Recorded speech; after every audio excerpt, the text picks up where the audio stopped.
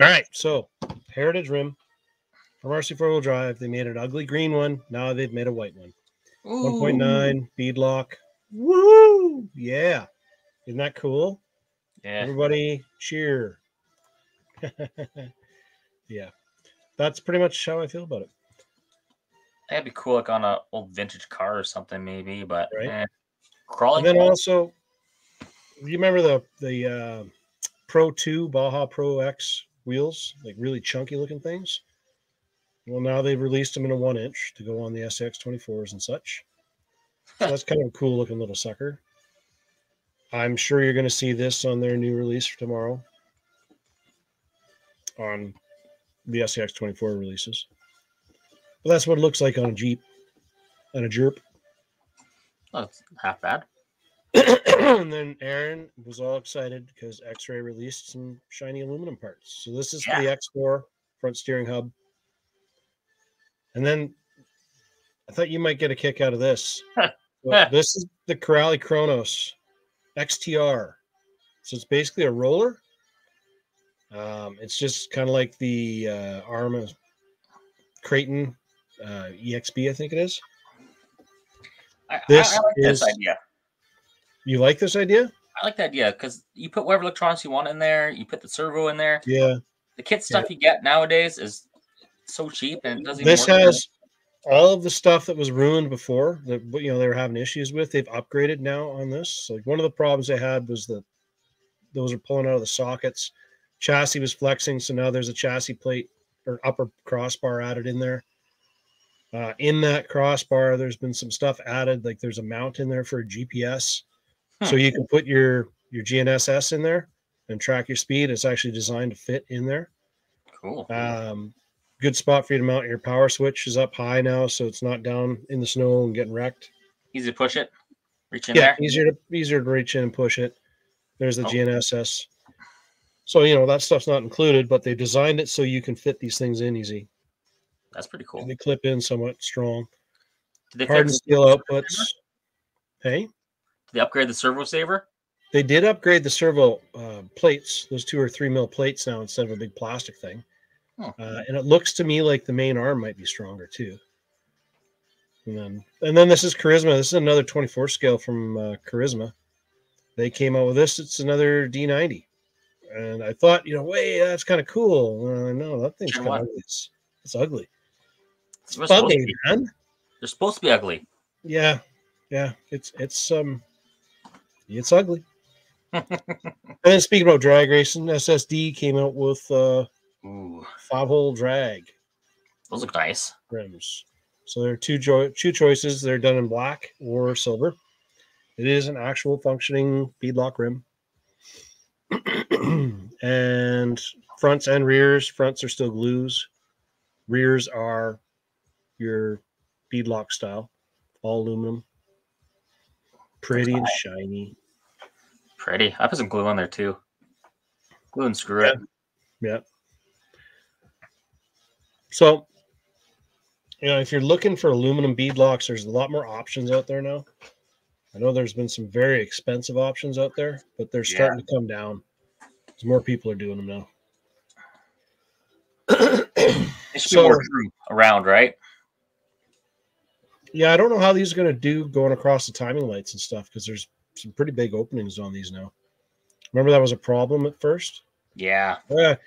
And for all you guys that like to video game RC, VRC is now putting out a basher in their line. Hmm. You can you can pick out a basher and race that for a while. You can bash Yeah. a basher on the video game as well. You can bash a basher in a video game as, as well instead of going out and finding a snow pile and jumping it and launching it off of that because that would be way way cooler. Hey, look look who's there. That's a troublemaker. Who who that? Who dat? You know who that is. That's the other half of MMF. Half Moon Bay? Yeah. Who dis? Who dis? Who dat? Everybody says who dat? New phone. Who dat? Yeah. That's Tanya. That's Tanya. Hi, boss lady. So, anyways, uh, Futaba came out with a two port fast charger, 15 amps per side. I don't know if it's going to be illegal to sell in Canada yet because I don't see any uh, CSA approvals or anything on it. But finally, they're doing something. I don't know why they decided now to start making chargers. and then all the drifter guys looking for Subarus, GRZ 2022 edition, wide body ish kind of look. Kind of ugly. From AP Plastics. It's a nice one. Oh, I don't know. I don't like that car. And it's got the light buckets and everything are actually molded in where the wheel wells are. So don't cut those up the wrong way. and then my yes, Proline. So they sneaked out all these pictures and stuff last week. And they finally released them. So this is the Toyota TRD. Uh, lots of people are saying they think the windows are too small and it looks a lot more like a Colorado. I agree. it really does. Yeah, it does. It looks a lot like a Colorado. I think they just kind of, I honestly think they just repurposed their Colorado mold that they've already got. It is a hard plastic grill insert that goes up in the front, so that'll make it look a little bit more realistic. It's not the Lexan look. Um, but yeah, I don't know. If you're a Toyota guy, yeah, but I'm not really jumping all over that one. And then they've also got uh, the Bronco because Bronco. yeah, why wouldn't they have a Bronco, right? Yeah. Everybody else has a Bronco. They better have a Bronco. This one's designed to fit on the Stampedes and the Granites, uh, basically the one tenth scale monster trucks. Uh, I can see some people are going to take these and hack these bodies onto like the LMTs and stuff as well, like some of those monster trucks. I could Yeah. totally see some guys force forcing these bodies onto there. So, yeah, that's another Bronco. Proline likes their Ford bodies. They love their Ford bodies. I'm, And I'm not a fan, but the Bronco's cool. I so if you guys are looking to burn rubber, so lots of people like the uh, melting the tires off of the limitless and the felonies and the infractions.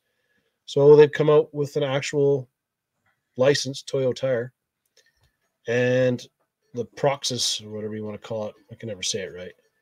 So there's two versions. There's the wider rear, which is kind of it's got a little bit of deeper dish, or the fronts will fit all the way around on like say the infraction or the ones that aren't made with the wider wheel wells on the back. So it is actually a licensed tire. Uh, there is a Toyo tire. It looks exactly the same tread pattern and everything with it. So I don't know. It'd be interesting to see if it slips, if it smokes, what it does. These are uh, for the SCX six. They are aluminum. They do replace the inner piece of your rims that you already have, and they reuse a lot of the hardware from the stock rims. So basically, you're just chasing, changing out the the actual fascia part in the More middle. green, man. Better for the environment. Yeah, yeah.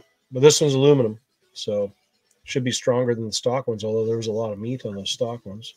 Oh yeah, pro strokes. I don't know why it took them so long to come up with actual shocks for the Maxx. Really? It's been around forever. I thought they'd have these out a long time ago. Dual spring, uh, five mil shaft, so they're a little bit larger shaft. Uh, I guess the jury's it's to be decided how tough these actually are. I mean, the stock shocks are pretty tough as it is, so I think you're really going to notice a difference with those with uh, like WideMaxx bodies and stuff like that, right? And then scorched parts. So Scorch parts makes a lot of 3D printed stuff. Um, a lot of stuff they do through their site. They make a lot of stuff for the twin hammers and such. Well, now they've made some titanium links for the Kraton 8S and the Outcast 8S. 8S. So just stronger than the stock stuff, right? And more parts for the B6, 6.3, should I say, from JConcepts. They're titanium front spindles I, I don't get that. front axles. They just really like the B6 line. They make a lot of stuff for it. Plus, they make some really cool monster truck tires Yeah. because these, I think, these are actually going to fit the Maxx. Really? And I think for snow wheeling, I think these might be a good tire to try Those are cool looking. Because they got a really nice aggressive paddle. But I think they might actually work in reverse, unlike the paddle tires that we've been experiencing. yeah, there's nothing reverse on those Right. things. So they're coming pre-mounted on the new aggressor wheel. They're also coming as a bare bone tire. And also coming pre-mounted on the aggressor wheel will be this uh, uh, Renegade tire as well. The aggressor wheel is coming in four colors: black, white, yellow, and silver. I think. Well, silver, gray, whatever you want to call that. That's what I call it. Diable. Diable. Well, the white's definitely diable. There's your Oh, diable. yeah. Yeah, I would say then there's the bright green that you know Tim is going to buy because everything he owns is bright green, right? And then these are the uh, what do I call them? Renegades. So they're a, a shallower tread. Uh, they're more like the tires that you actually see on the one-to-one full-size monster trucks, right? So Tamiya is re-releasing this body. So this body used to be out on the TAO TAO three E, which is a discontinued platform that they made a while ago. Now they've re-released this body, the Opel, on a TTO one chassis, and this is it on the old uh, 03 TA, whatever it was. Oh yeah, that's old. That's old school. You got one of those in your collection? No. But also, they have released two new compounds of their M series tires. So they've got a super soft one and they have a hard one, both for outside, intended for outside, and both of them are being used for doing their, like if you're running outside in the cold on the asphalt. So they got a really soft one. And if you're running out in extreme heat on the asphalt, they've got a harder one that'll last longer for you, right? That'd be great for our, our crew out here. Yeah, that's what I was thinking when I saw that. Uh, these badass looking bumpers are made by Injora, and they are for the SCX6. And they are full aluminum. They come with lights, but the thing that I like about them the most is the fact they actually come with the hitch.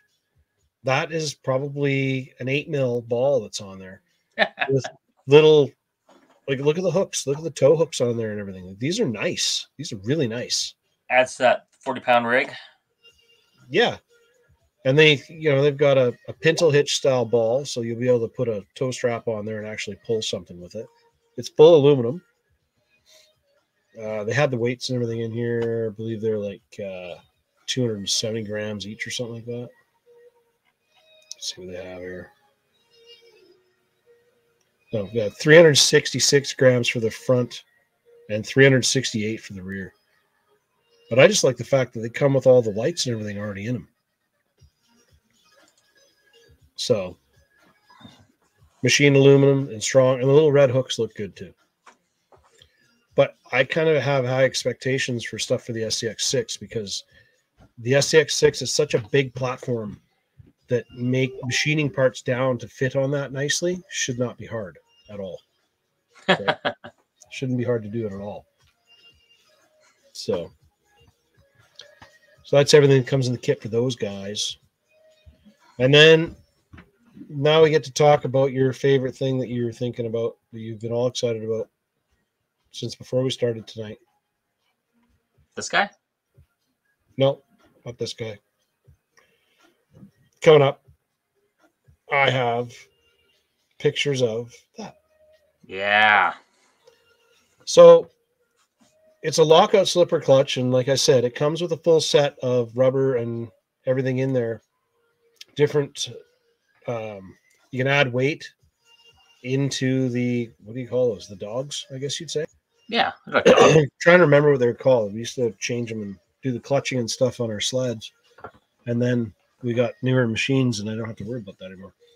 But um, all of these rubbers, all those rings are a different durometer, so they're a different tension. So if you want it, it's like a stall torque converter. So you want it to wind up a little bit more and free spin a little bit more off the bottom. You change it up, you know, put uh, less weight in. If you Bring a different tension too, right? Yeah. Yeah, right. You get to play with the tension. There's there's so much adjustment that you can do on these things. It's going to be it's going to be another one of those things that's going to make people. They're going to have a really cool car, and they're going to put this on there, and it's going to screw it all up. Like that for weeks until they finally figure out how to tune it up and set it up and dial it in right.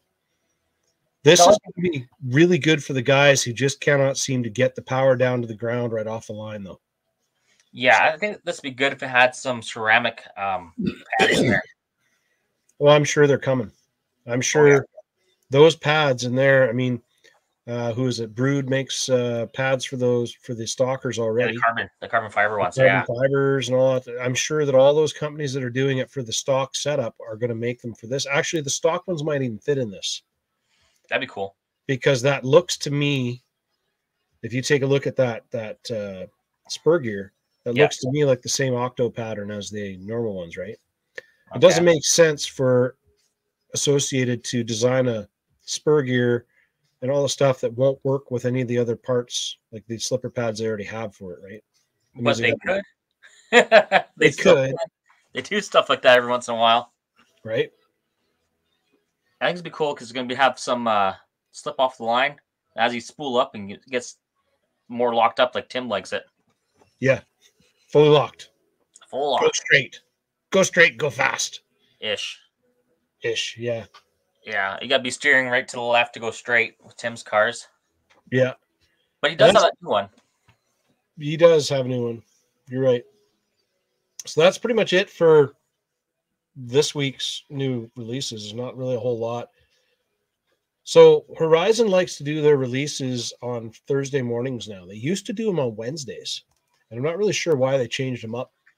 Way back, they used to do them on Wednesdays, which was kind of nice to find out about them first thing in the morning. Now you don't find out about them until early in the morning.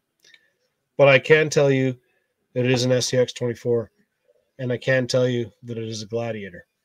So that's I, I just don't have like actual still pictures. I don't want to put I can't put the video up on here because I'll get a copyright strike or some bull crap for that. So we won't do that today.